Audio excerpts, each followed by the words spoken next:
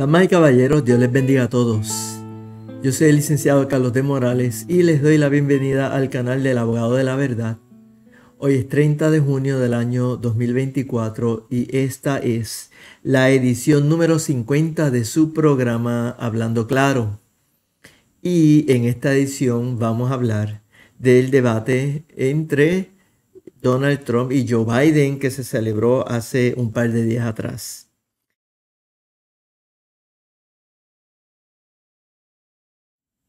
No hubo saludo entre Donald Trump y, Joe Biden, ellos no se llevan bien, ellos ¿verdad? no son amigos.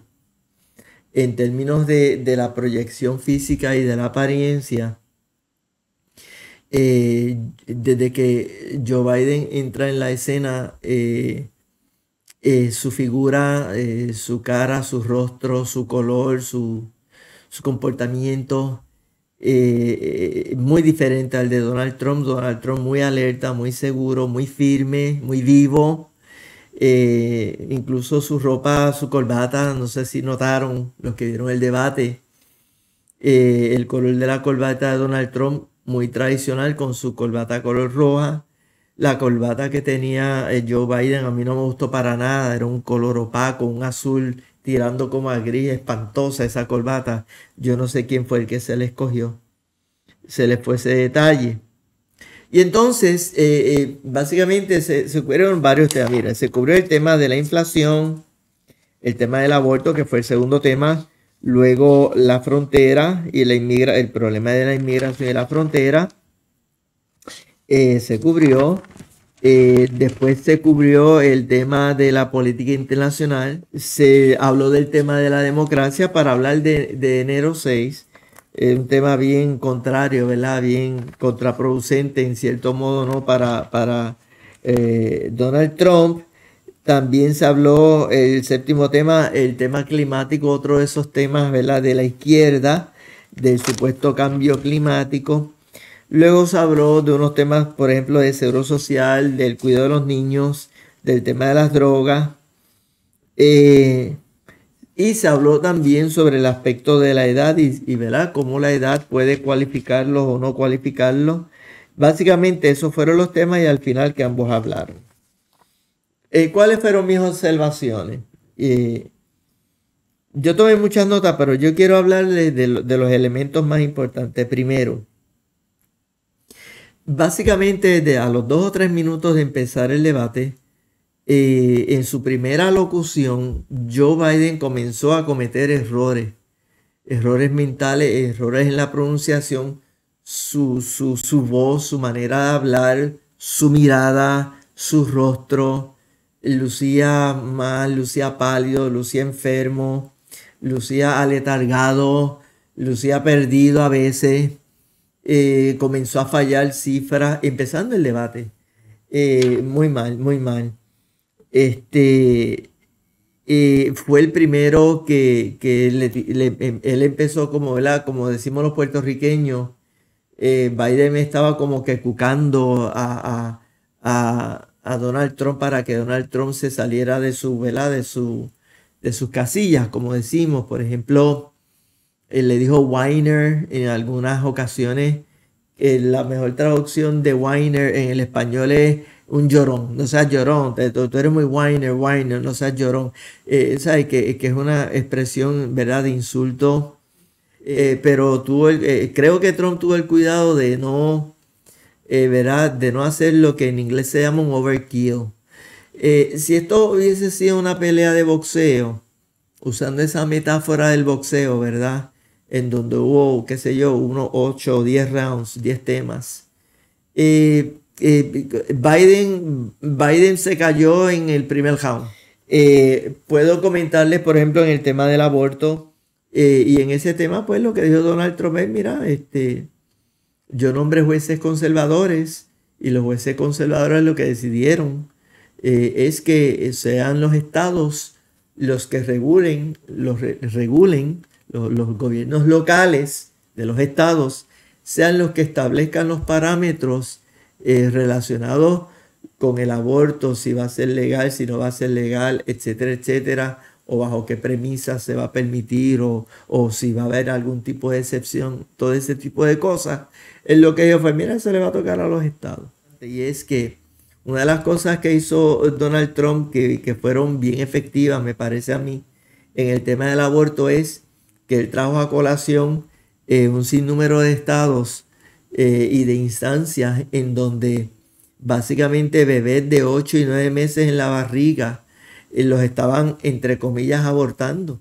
¿Cómo es posible, verdad, que, un creyente que dice que vive bajo la ética de Dios, como yo hablaba en mi video anterior sobre el asunto de la ética, el tema de la ética, ¿cómo es posible que un creyente vote por un partido y por un presidente que no tiene ningún problema con que se estén abortando bebés de 8 y 9 meses. Tercer tema, inmigración. Este, eh, yo tomo una nota eh, y, de hecho después cuando escuché el análisis de, los, de, estos expertos, tanto ¿verdad? republicanos como demócratas, eh, muchos coincidieron con esta apreciación que, yo tuve en un momento dado y que tomé mis notas aquí. Y es que el tema de la inmigración Donald Trump utilizó el tema de la inmigración como el caballito de batalla, como dice el refrán. Es decir, ese fue, e, e, e, ese fue, esa era la bomba, ¿verdad? Esa era la granada. Eh, eh, Donald Trump tenía eh, como 30 granadas y todas esas granadas decían inmigración ilegal, ¿no? Los ilegales, la inmigración.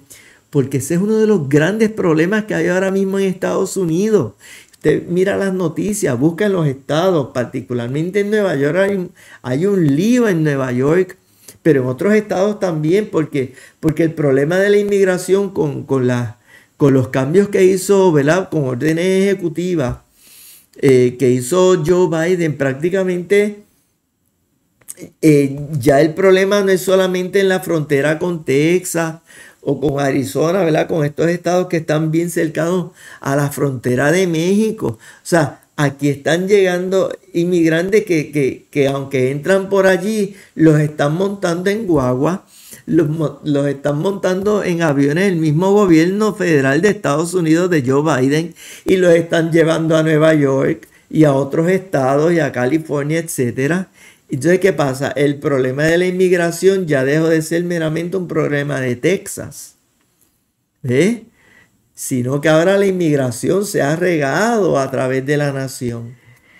Eh, por ejemplo, una de las cosas que está hablando sobre el aspecto de la, de la seguridad que decía Trump. Trump decía, mira, Biden abrió la frontera y esto está provocando un problema de terroristas entrando al territorio americano, criminales de todas las partes del mundo. Entonces, realmente ahí Trump, antes de entrar a responder la pregunta, Trump lo que hace es eh, que empieza a plantear que todas estas guerras que están ocurriendo, están ocurriendo en parte o en gran parte, ¿verdad? En su argumento. Eh, estoy diciendo lo que, lo que planteó Trump. Eh, está planteando que, que si él hubiese sido presidente, esas guerras no iban a ocurrir y que bajo su presidencia no ocurrió nada de eso y no se inició ninguna guerra. Entonces trae a colación la debilidad de, Biden eh, como presidente. Eh, en un momento dado trae a colación, por ejemplo, lo que pasó en Afganistán, la forma incorrecta o equivocada, según su argumento, eh, en, que, en que Biden sacó a las tropas de, de, Afganistán dejándole billones de dólares y Trump dice, mire, este es el evento el evento en la política internacional de Estados Unidos más despreciable de la historia de Estados Unidos. Y está ocurriendo bajo la presidencia de, de Biden. Y claro, también a través del debate, en, muchas ocasiones Trump dijo, este es el peor presidente que ha tenido Estados Unidos, este es el peor presidente que ha tenido Estados Unidos. Recuerden que los debates, en los debates los debatientes tienen que tener un, tienen que tratar de desarrollar un sinnúmero de expresiones, de frases, ¿no? Que, que se queden en la mente. Habrán notado que yo casi no he hablado de las cosas que dijo Biden, porque mire,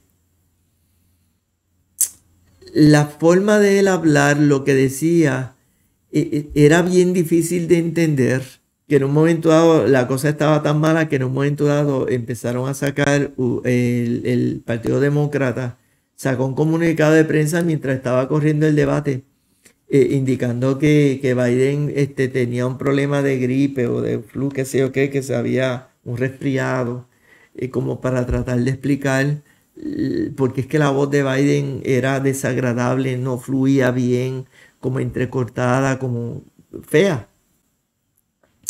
Este, e hicieron eso, que es una cosa insospechada. Eh, y aún no se había acabado el debate y ya estaban tirando eh, un montón de eh, personas líderes del Partido Demócrata, este, escribiéndole a los periodistas mensajes privados diciéndole, mira, esto es un desastre, etcétera, etcétera. O sea, el, debate, el debate fue un desastre para Joe Biden y eso no hay, no hay otra manera de decirlo. Bien, en este momento del debate, en este tema, que era el tema 4, esto más o menos ya había transcurrido como una hora del debate más o menos. Yo escribí una observación que les voy a leer. En el debate, Trump luce alerta, despierto. Mientras Trump habla, Biden casi siempre mirando hacia abajo o hacia el lado, una mirada perdida. No es que estás revisando notas o, revisando a los, a los, ¿verdad? A los, a, los periodistas. Bueno, en cuanto al tema número 5 de la democracia, pues se trae a colación el asunto de, de, enero 6. Entonces, en esta, en esta pregunta eh, voy a citarles lo que Trump dijo porque utilizó una, una estrategia que es como una cadencia, que eso, eso es bien útil cuando se está debatiendo. Él viene y dice, voy a leer aquí la, nota que tomé, dice, toma, Trump toma la estrategia de describir la situación de la nación en ese día o a, ese momento de enero 6, que es el día en donde él está saliendo de la, de la presidencia. Entonces, mire cómo dice Trump. On January 6, the borders were secure. Fíjense que toma este tema, que es el tema de, la democracia y de lo que pasó en enero 6, y entonces él vira el argumento y trae a colación el problema de la, de frontera, ¿verdad? De, de los borders, de la frontera. Dice, en enero 6, la frontera estaba segura. En enero 6, éramos un país eh, eh, con, eh, independientes en términos energéticos. en enero 6 había menos contribuciones, o sea, yo había reducido los taxes. En enero 6 éramos una nación respetada, respected in the world. Bien, también estuvo el tema del de supuesto cambio climático. claro, Ustedes saben que mi postura y la de muchas personas es que realmente esto del cambio climático es una gran mentira, es una gran falacia. Pero los medios liberales y muchos, ¿verdad? Mucha gente en Estados Unidos se pasa hablando de esto del cambio climático y, y tratando de utilizar el supuesto cambio climático para básicamente adelantar la Agenda 2030. Y como sabemos, una de las diferencias marcadas entre Biden y Donald Trump es que Biden, Biden es un defensor del globalismo. Biden es un defensor de la Agenda 2030, de la Agenda de las Naciones Unidas. Son porque, porque la Agenda de las Naciones Unidas, la agenda de, de todos estos movimientos políticos internacionales es hacia un gobierno centralizado. De eso yo les he hablado antes en otros videos, en donde se está pretendiendo eh, que, ¿verdad? Romper con todas las fronteras de derechos y las fronteras nacionales. Y esto, ¿verdad? Esto tiene una repercusión profética.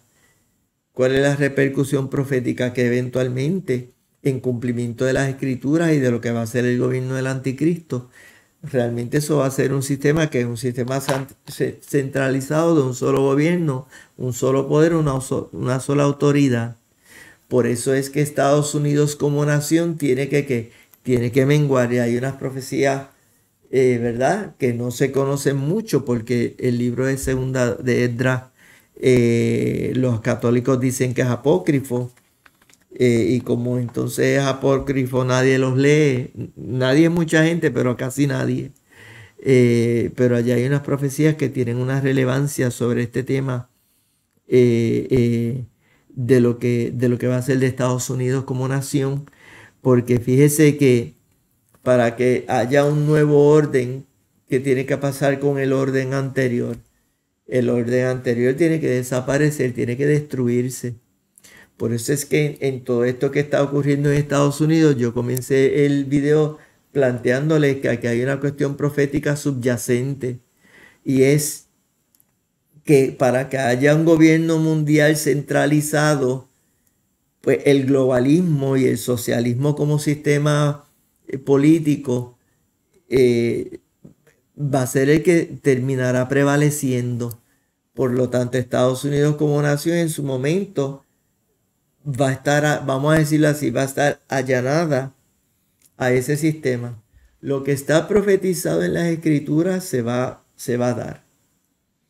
Ahora, ¿verdad? Si Trump gana, pues los conservadores y los creyentes eh, que bajo el sistema republicano de gobierno y bajo, ¿verdad? bajo el sistema de los valores de los conservadores que son más respetuosos de la constitución, pues entonces los creyentes, las libertades que gozan los creyentes bajo gobiernos conservadores están más protegidas. De eso es que se trata, mi gente. Si un movimiento político ha demostrado en la práctica, ¿verdad? No solamente en la teoría, sino en la práctica, demuestra que respeta más las, libertades individuales, que respeta más las libertades religiosas, que se acerca más a los valores del reino de Dios. Pues entonces yo como creyente que voy a pensar, ah, mira, eh, un gobierno que proteja eso, un líder político que proteja esa agenda del bien, ah, pues yo me voy a, yo voy a simpatizar más con él. Yo voy a apoyar más esa agenda que al otro líder que anda en la otra agenda. De eso es que se trata.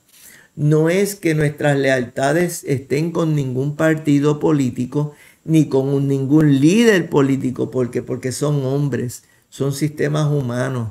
Nuestra confianza, confianza está en Dios. Ahora bien, los creyentes en el ejercicio de su libertad y de sus derechos, ¿verdad? En el sistema en el que estamos, pues, pues tienen una oportunidad de que de adelantar eh, un sistema que protege más mis derechos individuales como ser humano, como persona. ¿Por qué? Porque eso se acerca más a los postulados del reino de Dios. Bien, quiero comentarle brevemente sobre el tema número 10, que fue el tema, ve, esto fue una pelea de guerra, eh, sobre el asunto de la edad. Entonces Biden lo que contestó fue, miren mis récords, es decir, no contestó. básicamente los moderadores le estaban planteando, mire, hay una preocupación aquí sobre la edad suya, bla, bla, bla. Entonces, eh, él no contestó la pregunta, él lo que dijo fue, miren mis récords, pero fíjense que aún ese argumento es, malísimo porque su récord es de cuestiones pasadas. Y el planteamiento del moderador y de la pregunta y de lo que se está preguntando a la nación americana es, ¿esta persona puede ser presidente por cuatro años más? Algunos están cuestionando que pueda ser presidente por los próximos cuatro meses.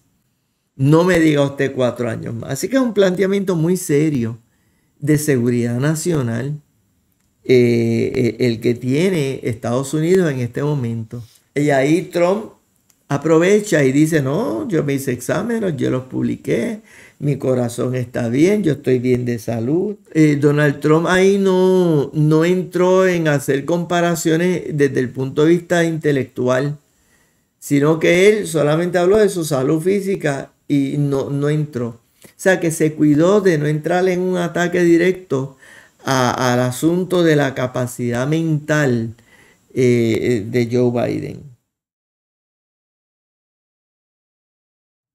La condición mental de Biden ha sido escondida por la prensa, por su propio gabinete, por sus allegados, por su esposa, obviamente, por los medios. Y, parte de la crítica que algunos están haciendo, y yo me uno a esa crítica, es que es, un poco hipócrita esta conducta como de que, ay, Dios mío, mira cómo él está. Es que, es que ellos, ellos llevan mintiendo mucho tiempo sobre la condición de, de Joe Biden, la condición real mental de él no es de ahora. Eso ya lleva tiempo con esta situación. Hay una gran preocupación por la seguridad nacional. Eh, escuché a unos analistas diciendo, diciendo, después de este debate, más vale que, que, las Fuerzas Armadas, armadas se pongan en, en DEFCON 3, o sea, que entren en una alerta. Porque, porque los enemigos de Estados Unidos están viendo que Estados Unidos tiene a un presidente incompetente, débil, sin carácter, sin, sin, sin capacidad mental. Y eso realmente crea un issue de seguridad nacional muy serio. Y finalmente, ¿qué significa esto para el movimiento conservador en Estados Unidos y Puerto Rico? Pues mire, esto significa, este debate significa que en este momento existe una posibilidad muy buena de que, de que, de que Donald Trump gane las elecciones Claro, hay que ver lo que va a hacer el Partido Demócrata porque si alguien sabe ganar elecciones en Estados Unidos son los demócratas. Porque hacen lo que sea. Hacen lo que sea para ganar. Este, pero sí para, para el movimiento conservador en Puerto Rico y Estados Unidos, esto significa que cuando hay, cuando hay gobiernos conservadores, como dije ahorita, lo reitero ahora, los derechos individuales están más conservados, más protegidos yo le soy muy honesto. No que yo sea fanático de ningún líder político, porque no lo soy. Yo hablo de la cuestión del movimiento conservador, agenda conservadora. Cuando hay un partido conservador o un gobernante conservador o un presidente conservador, las leyes que se aprueban y las políticas públicas que se desarrollan son más consistentes con nuestra línea como hijos de Dios, con nuestros parámetros, con nuestros valores, ¿verdad? Como hijos de Dios. Esa es la verdad. Por lo tanto, uno se siente, por lo menos yo me siento como que un poquito mejor, honestamente. Los gobiernos, no, no, es que los gobiernos necesariamente van a ser, entre comillas, buenos, porque cada gobierno hay que evaluarlo según va actuando. Y, como todos, hacen cosas buenas, hacen cosas malas. Pero en términos generales, en términos de las agendas y de los paradigmas, gobierno conservador respeta los derechos individuales, respeta la constitución, respeta las libertades religiosas, eh, trata de adelantar la agenda económica para que los negocios crezcan y como norma general la economía mejora. Esa es la verdad. Y los precios de la gasolina bajan, y el precio de la luz baja, y el precio de los alimentos baja. Esa es la realidad que yo he vivido desde que me conozco, desde, que yo estoy siguiendo la política de los años 70, 80 para acá. Eso siempre ha sido así. Eso no ha cambiado. Así que ese es mi análisis de eh, lo que pasó en el debate y esas son mis breves reflexiones sobre las repercusiones de qué puede pasar de ahora en adelante. Gracias por su audiencia. Recuerden darle like, suscribirse, compartir. Hagan sus comentarios, sus preguntas. Eh, y espero verles pronto en el próximo eh, video. Así que recuerden nuestra tónica y conoceréis la verdad y la verdad os hará libres.